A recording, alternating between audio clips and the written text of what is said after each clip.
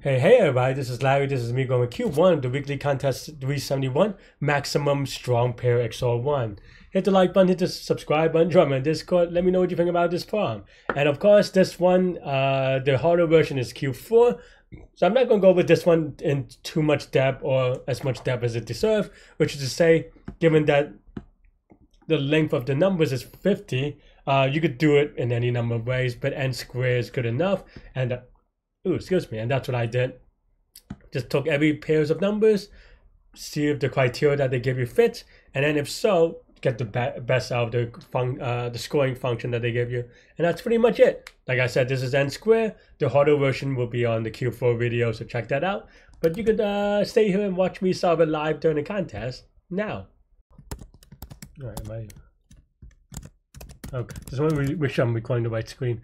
All right, maximum strong pair XOR 1. Da, da, da, mm. A bitwise XOR is the maximum. okay. Uh, what is a strong pair?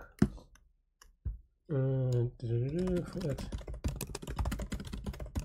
uh, if absolute of x minus y is less than or equal to min of xy, then we want to do best is equal to max best uh, x or y, so, something like that. And it and always be zero because it just by itself, right? Seven zero seven. All right, let's go. That's it, right? Yep.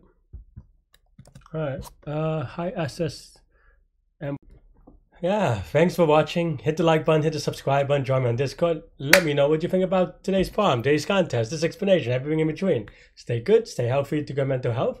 I'll see y'all later and take care. Bye bye.